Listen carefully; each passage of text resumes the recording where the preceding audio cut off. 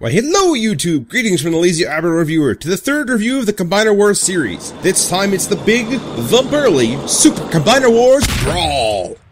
Brawl is a deluxe tank, and actually a pretty slick one too in the sense that he actually looks like an actual tank, as opposed to the futuristic design liberties of this guy. Not to say I don't like Warpath or that the H-Tank is dumb or anything, I just honestly prefer Brawl's alt mode. Though one knocked over Warpath is that the old H-Tank actually got to rotate the turret, Whereas Brawl, all he can do is point the gun up. That's not quite all he can do though. I mean, half transforming this guy could give a siege mode or something. Proceed. Orders, sir. Absolutely. For vengeance. In short, the tank mode itself is fantastic, though the color, that left something to be desired. Pictured here is what's left of the original color, this pukey brown. Almost Blastoff's color, but just a bit more sickly.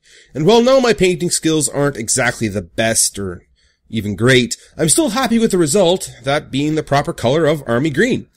See, that's the thing about Brawl. I mean, it's fine on its own, but once you start importing your own skins, man, does it ever get that much more awesome. Just, again, I have nothing but good things to say about the tank mode. It looks great, the color is great now, and when I envision Brawl, this is the burly alt mode I think of. Alright then, because this guy isn't a clone of anybody, I get to talk about transformation and articulation. So let's go leg mode. Take the back of the tank and unclip and rotate it around. Move the turret up. Ta-da! Done. Now pop out your combiner plug and you're ready to stand. This leg is just so amazing. I mean, look at it. It's so tidy. It works. There's no kibble hanging off anywhere. At least none that hasn't been there since the animated appearance, the video game presence, or even his original toy. It's just so clean and tidy. Another option you can do, by the way, is to rotate the turret back around if you don't like the kneecap sticking up so much, but I don't quite recommend it because things start bumping into each other down there. Anyway, just wow, this leg. And what an amazing compliment to Swindle, a character I also said was a fantastic leg. Both of these vehicles are just so well put together with zero kibble. I don't think I can say enough just how much I love these two as legs. They just work so well together.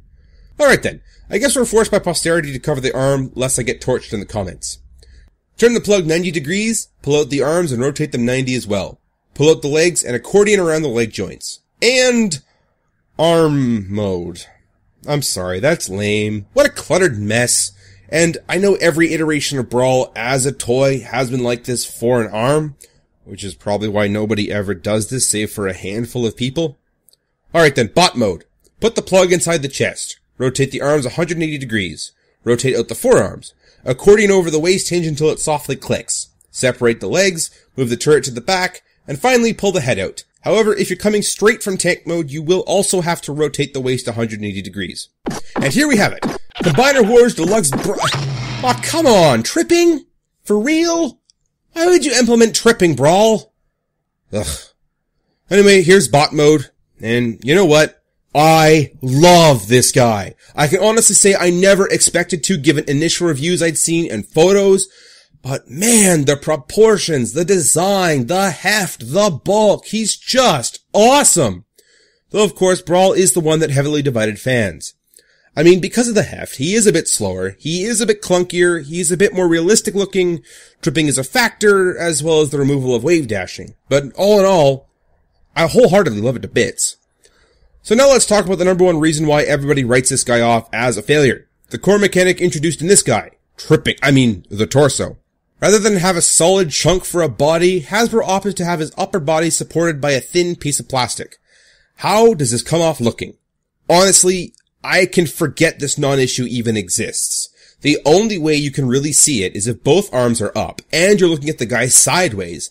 Otherwise, every other angle looks solid to me. So really, the only way this becomes an issue is if you're looking for it and you love to nitpick.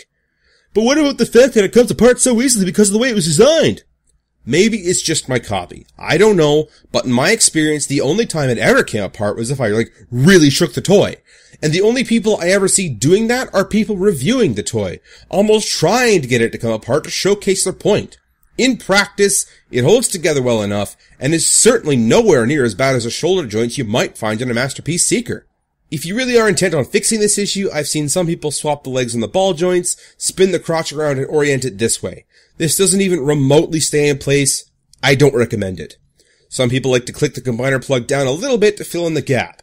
It's not what I like, and if that's what you want to do, go for it. However, I find that it becomes less stable if you do that. Another thing I've seen being done is to make some heavy modifications with a router to the black plastic bit so that it all stays flat. This is risky. It does make them a bit shorter, but it's an option. Basically, I don't understand why everyone's just writing this guy off as a failure and missing the bigger points of this guy, such as articulation. Head is on a swivel and can look up. Outward shoulder movement and 360 spin. Elbows on a ball joint. Truth be told, this is my least favorite way to do an elbow, but it works. I mean, it works so well that you can reassemble the tank bit and have tanks with legs. So, so far, this has all been pretty standard articulation we've seen in deluxe figures. What makes this guy so great is from here on out. So we've seen thigh swivel in that tank rotation bit I just did, outward leg movement, forward and backward leg movement, thigh swivel, knee bend, and my favorite part. We have massive foot clompers that have forward articulation, a second joint for backward articulation, and a full-on 90 degree ankle tilt. Other features include the tank barrel coming out of the turret and being used as a gun. This means the poses like this, and this, and this, coupled with the stability of the feet to make stable, unassisted walking all possible.